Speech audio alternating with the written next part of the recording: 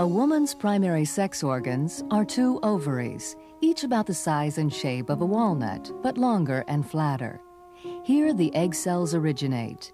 Each ovary may contain millions of potential eggs, but the eggs lie dormant until puberty.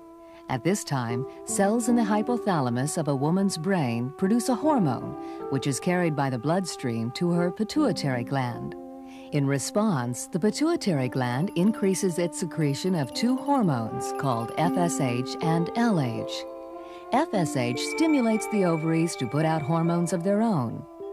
Estrogens, and to a much lesser extent progesterones, cause the physical changes of puberty. Under this influence, a girl's adult female sexual characteristics gradually emerge. Her breasts grow, she grows pubic hair and hair in her armpits. Then, as she becomes a woman, her first menstrual cycle begins. Now her body is ready to take part in producing a baby. Under the influence of FSH and LH from the pituitary, one of the immature egg cells already present in her ovaries begins to grow within a sac of cells called the follicle.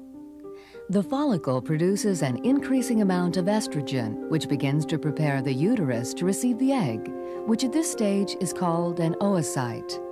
As the oocyte and follicle grow, they move toward the outer surface of the ovary.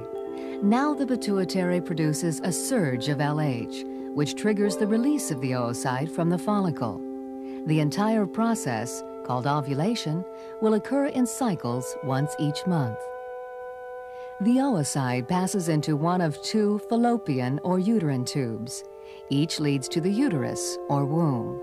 Under the influence of LH, the follicle changes into a yellow body called the corpus luteum, which secretes increasing amounts of the hormone progesterone into the bloodstream. That progesterone completes the job of preparing the uterine lining, and its increase causes the pituitary to send out less FSH.